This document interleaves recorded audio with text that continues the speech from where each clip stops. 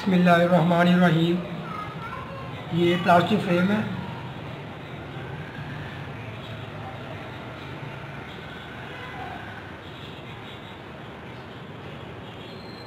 इसमें हम सिलेंडर शीशा इस फ्रेम में लगाएँगे।